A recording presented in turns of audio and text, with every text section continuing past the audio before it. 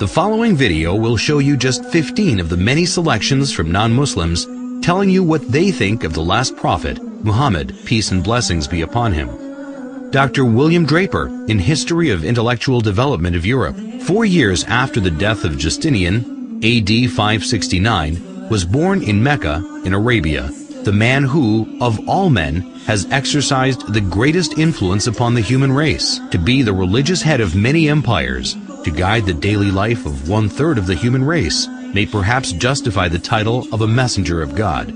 Philip K. Hitti, in History of the Arabs, within a brief span of mortal life, Muhammad called forth of unpromising material a nation never wielded before. In a country that was hitherto but a geographical expression, he established a religion which in vast areas suppressed Christianity and Judaism, and laid the basis of an empire that was soon to embrace within its far-flung boundaries the fairest provinces in the then civilized world. Thomas Carlyle, in Heroes and Hero Worship and the Heroic in History, the lies which well-meaning zeal has heaped round this man are disgraceful to ourselves only. A silent, great soul, one of that who cannot but be earnest. He was to kindle the world. The world's maker had ordered so. Mahatma Gandhi, statement published in Young India, 1924. I wanted to know the best of the life of one who holds today an undisputed sway over the hearts of millions of mankind. I became more than ever convinced that it was not the sword that won a place for Islam in those days in the scheme of life. It was the rigid simplicity, the utter self-effacement of the Prophet, the scrupulous regard for pledges, his intense devotion to his friends and followers, his intrepidity, his fearlessness, his absolute trust in God and in his own mission. These, and not the sword, carried everything before them and surmounted every obstacle. When I closed the second volume of the Prophet's biography, I was sorry there was not more for me to read of that great life. Edward Gibbon and Simon Oakley in History of the Saracen Empire, London, 1870. The greatest success of Muhammad's life was effected by sheer moral force. It is not the propagation, but the permanency of his religion that deserves our wonder. The same pure and perfect impression which he engraved at Mecca and Medina is preserved after the revolutions of 12 centuries by the Indians, the African and the Turkish proselytes of the Quran. The Mohammedans have uniformly withstood the temptation of reducing the object of their faith and devotion to a level with the senses and imagination of man. I believe in one God, and Muhammad, the apostle of God, is the simple and invariable profession of Islam. The intellectual image of the deity has never been degraded by any visible idol. The honors of the prophet have never transgressed the measure of human virtue, and his living precepts have restrained the gratitude of his disciples within the bounds of reason and religion. Reverend Bosworth Smith, in Muhammad and Muhammadanism, London, 1874. Head of the state as well as the church, he was Caesar and Pope in one. But he was Pope without the Pope's pretensions, and Caesar without the legions of Caesar, without a standing army, without a bodyguard, without a police force, without a fixed revenue. If ever a man ruled by a right divine, it was Muhammad, for he had all the powers without their supports. He cared not for the dressings of power. The simplicity of his private life was in keeping with his public life. In Mohammedanism, everything is different here. Instead of the shadowy and the mysterious, we have history. We know of the external history of Muhammad, while for his internal history, after his mission had been proclaimed, we have a book absolutely unique in its origin, in its preservation, on the substantial authority of which no one has ever been able to cast a serious doubt. Gibbon in The Decline and Fall of the Roman Empire, 1823. The good sense of Muhammad despised the pomp of royalty. The apostle of God submitted to the menial offices of the family. He kindled the fire, swept the floor, milked the ewes, and mended with his own hands his shoes and garments. Disdaining the penance and merit of a hermit, he observed without effort of vanity the abstemious diet of an Arab. De Lacy O'Leary in Islam at the Crossroads, London, 1923. History makes it clear, however, that the legend of fanatical Muslims sweeping through the world and forcing Islam at the point of sword upon conquered races is one of the most fantastically absurd myths that historians have ever repeated. Sir George Bernard Shaw in The Genuine Islam, Volume 1, Number 8, 1936. If any religion had the chance of ruling over England, nay, Europe, within the next hundred years, it could be Islam. I have always held the religion of Muhammad in high estimation because of its wonderful vitality. It is the only religion which appears to me to possess that assimilating capacity to the changing phase of existence which can make itself appeal to every age. I have studied him, the wonderful man, and in my opinion, far from being an antichrist, he must be called the savior of humanity.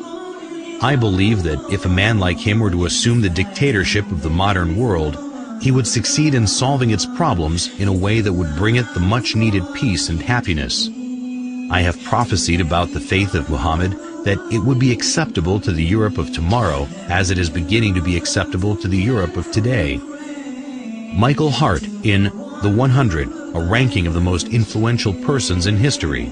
New York, 1978. My choice of Muhammad to lead the list of the world's most influential persons may surprise some readers and may be questioned by others, but he was the only man in history who was supremely successful on both the secular and religious level. It is probable that the relative influence of Muhammad on Islam has been larger than the combined influence of Jesus Christ and St. Paul on Christianity.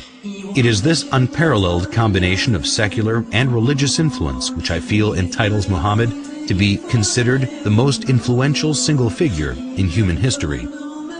W. Montgomery Watt in Muhammad at Mecca, Oxford, 1953. His readiness to undergo persecution for his beliefs the high moral character of the men who believed in him and looked up to him as a leader, and the greatness of his ultimate achievement all argue his fundamental integrity. To suppose Muhammad an impostor raises more problems than it solves. Moreover, none of the great figures of history is so poorly appreciated in the West as Muhammad. Thus, not merely must we credit Muhammad with essential honesty and integrity of purpose, if we are to understand him at all, if we are to correct the errors we have inherited from the past, we must not forget that conclusive proof is a much stricter requirement than a show of plausibility, and in a matter such as this, only to be attained with difficulty. Washington Irving in Muhammad and His Successors. He was sober and abstemious in his diet, and a rigorous observer of fasts. He indulged in no magnificence of apparel, the ostentation of a petty mind, neither was his simplicity in dress affected but a result of real disregard for distinction from so trivial a source. In his private dealings he was just. He treated friends and strangers, the rich and poor, the powerful and weak, with equity, and was beloved by the common people for the affability with which he received them and listened to their complaints. His military triumphs awakened no pride nor vain glory, as they would have done had they been effected for selfish purposes. In the time of his greatest power, he maintained the same simplicity of manners and appearance as in the days of his adversity. So far from affecting a regal state, he was displeased if, on entering a room, any unusual testimonials of respect were shown to him. If he aimed at a universal dominion, it was the dominion of faith. As to the temporal rule which grew up in his hands, as he used it without ostentation, so he took no step to perpetuate it in his family. James Michener in Islam, the Misunderstood Religion, Reader's Digest, May 1955, pages 68 to 70. No other religion in history spread so rapidly as Islam. The West has widely believed that this surge of religion was made possible by the sword, but no modern scholar accepts this idea, and the Quran is explicit in the support of the freedom of conscience. Like almost every major prophet before him, Muhammad fought shy of serving as the transmitter of God's word, sensing his own inadequacy. But the angel commanded, read. So far as we know, Muhammad was unable to read or write, but he began to dictate those inspired words which would soon revolutionize a large segment of the earth. There is one God. In all things, Muhammad was profoundly practical. When his beloved son Ibrahim died, an eclipse occurred, and rumors of God's personal condolence quickly arose whereupon Muhammad is said to have announced, An eclipse is a phenomenon of nature. It is foolish to attribute such things to the death or birth of a human being. At Muhammad's own death, an attempt was made to deify him but the man who was to become his administrative successor killed the hysteria with one of the noblest speeches in religious history. If there are any among you who worshipped Muhammad, he is dead. But if it is God you worshipped, he lives forever. Lawrence E. Brown in The Prospects of Islam, 1944. Incidentally, these well-established facts dispose of the idea, so widely fostered in Christian writings, that the Muslims, wherever they went, forced people to accept Islam at the point of the sword. Alphonse de Lamartine in Histoire de la Turquie, Paris, 1854. Never has a man set for himself, voluntarily or involuntarily, a more sublime aim, since this aim was superhuman, to subvert superstitions which had been imposed between man and his Creator, to render God unto man, and man unto God, to restore the rational and sacred idea of divinity amidst the chaos of the material and disfigured gods of idolatry then existing. Never has a man undertaken a work so far beyond human power with so feeble means, for he, Muhammad, had in the conception as well as in the execution of such a great design, no other instrument than himself, and no other aid except a handful of men living in a corner of the desert. Finally, never has a man accomplished such a huge and lasting revolution in the world, because in less than two centuries after its appearance, Islam, in faith and in arms, reigned over the whole of Arabia and conquered in God's name Persia, Khorasan, Transoxania, Western India, Syria, Egypt, Abyssinia, all the known continent of northern Africa, numerous islands of the Mediterranean Sea, Spain, and part of Gaul. If greatness of purpose, smallness of means, and astonishing results are the three criteria of a human genius, who could dare compare any great man in history with Muhammad? The most famous men created arms, laws, and empires only. They found it, if anything at all, no more than material powers which often crumbled away before their eyes. This man moved not only armies, legislations, empires, peoples, dynasties, but millions of men in one-third of the then inhabited world.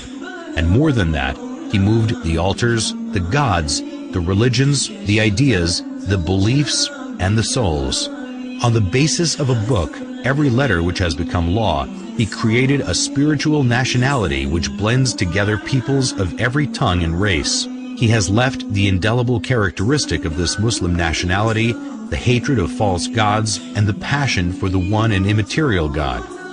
This avenging patriotism against the profanation of heaven formed the virtue of the followers of Muhammad. The conquest of one-third the earth to the dogma was his miracle, or rather it was not the miracle of man, but that of reason. The idea of the unity of God, proclaimed amidst the exhaustion of the fabulous Theogonies, was in itself such a miracle that upon its utterance from his lips, it destroyed all the ancient temples of idols and set on fire one-third of the world. His life, his meditations, his heroic revelings against the superstitions of his country, and his boldness in defying the furies of idolatry, his firmness in enduring them for 15 years in Mecca, his acceptance of the role of public scorn and almost of being a victim of his fellow countrymen, this dogma was twofold, the unity of God and the immateriality of God, the former telling what God is, the latter telling what God is not, the one overthrowing false gods with the sword, the other starting an idea with words. Philosopher, orator, apostle, legislator, conqueror of ideas, restorer of rational beliefs, the founder of 20 terrestrial empires and of one spiritual empire. That is Muhammad. As regards all standards by which human greatness may be measured, we may well ask, is there any man greater than he?